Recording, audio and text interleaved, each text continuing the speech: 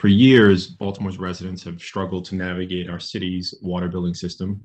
Um, bills have been incorrect, uh, meters don't function as promised, um, customer service can sometimes be hard to reach. City Councilman Mark Conway introduced the resolution calling for today's Rules and Legislative Oversight Committee hearing concerning Baltimore's water billing system.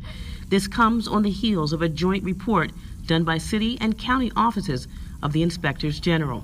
Conway says his office hears from constituents daily about their struggles with water issues, some of which can take months or years to resolve. DPW Acting Director Matthew Garbark says the city made major changes in 2016 to update the system, and with that change came challenges. There are probably um, 5%, give or take, uh, of accounts um, that do have issues and that have um, some of which, a, a small percentage of that, have had significant issues and ongoing issues.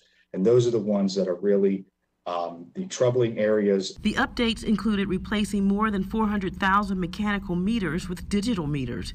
The hearing also showed they may need more employees to handle disputes. On average, how many billing disputes is your team working on at a given time? We have around uh, 2,000 open billing dispute. And how many uh, uh, agents do you have that that are working on that at a given time? We have nine agents that is dedicated to the billing dispute.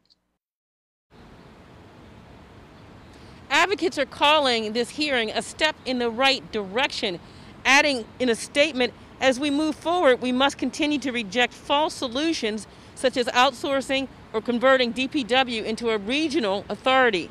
Water is a human right, and fixing our billing system will ensure that right is upheld in our city. Reporting downtown, Lisa Robinson, WBAL TV 11 News.